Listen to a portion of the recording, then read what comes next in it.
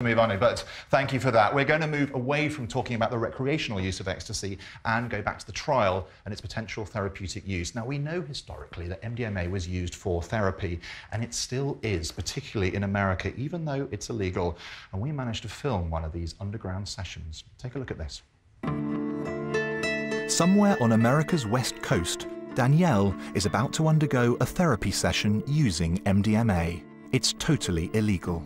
She's been diagnosed with post traumatic stress disorder, PTSD, following an abusive childhood. I was raised by a father who had a very tragic and unhappy life of his own and took that out on two of his children. The violence was very unpredictable in my house, and that resulted in a lifetime of anxiety for me. Danielle's first MDMA session was a year ago. She'd never previously taken a Class A drug.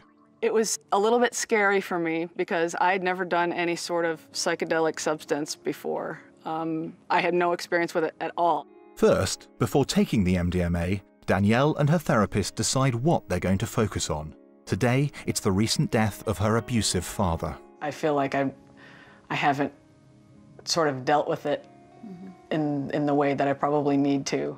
Her therapist only agreed to take part on condition that she was unidentifiable in this program. She faces a long prison sentence if caught. I run a lot of risks. Um, it is illegal, and from a professional point of view, it's very uh, harshly condemned. But I believe in the power of this tool. I, I've seen the results in many people.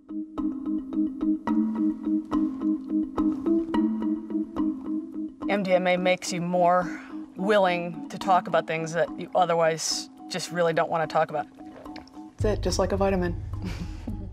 Sometimes you have very fixed ideas about who you are and how things should be, and the drug is showing you there's another way to look and widen your perspective about your life. It's hard to let my jaw relax. It's, it's tense, my jaw. Yeah, it's okay. Oh, I don't feel good right now. You don't feel good?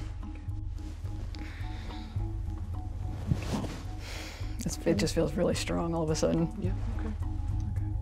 An hour in, and as the drug takes hold, the therapy session begins in earnest. I don't think anything excuses treating a child the way that he treated me. But when I think about how, how hard his life was and how sad it was, and, and that he died so young,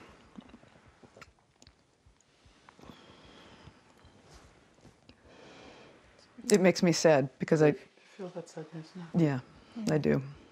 Mm-hmm. At his funeral, I was just thinking.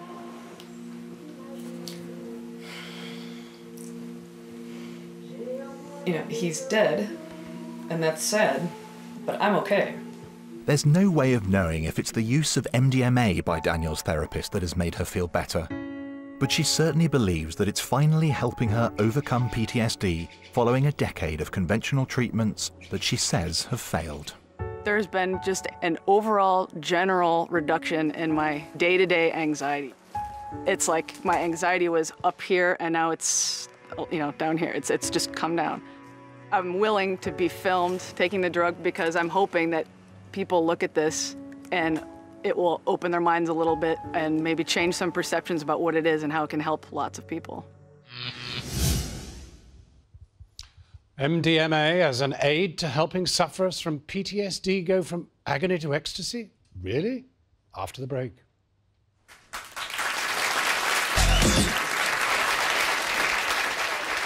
Now, before the break, we saw a MDMA therapy session. Professor uh, Curran, um, you were very interested in posing negative thoughts to people in, in the MRI scan. Why did you want to do that?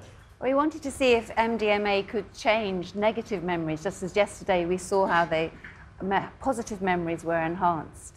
And we were particularly interested in, in negative memories, which are key symptoms of some psychological disorders, like depression, but also like PTSD, as we've just seen.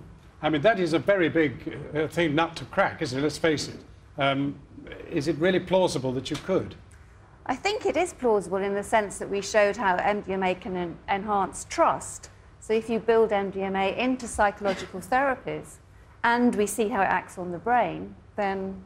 Well, let's go look at the, the brain, uh, David, and see exactly what's happening when you're triggering negative thoughts like this. What, what, what, what, where, where, where did all this make any kind of a difference? So, like last night, memories coordinated by the hippocampus, the blue bit here. When people are remembering negative memories, two other regions are activated the amygdala here, which is a kind of emotional nerve center, and this prefrontal cortical region, which is part of this default mode network we talked about before. Now, what we find is that under MDMA, this high level control region here, this prefrontal region, is switched off. And you can see that up there. Let's look at, oh my goodness, yeah. Yeah. I mean, that, that, but previously we saw uh, Keith's brain, which had blue dots both sides, one switched off. This one is switched off. dramatic. And switch, that switching off means that people are able to engage with the traumatic memories without the huge emotional overlay, which can then interfere with therapy. So, as we saw in that particular clip, the person can remember the problem with the father, but, the, but control the emotions and therefore deal with it intellectually. This is amazing. If I'm right, you're saying that you can physically see through the MRI of hmm. this slice of the brain the dampening down of, and, and actually almost extinguishing of negative emotion. That's, yeah, that's right, exactly right. You're seeing that under MDMA, the, the memories are less emotional, they're less negative because you dampen down this emotional center.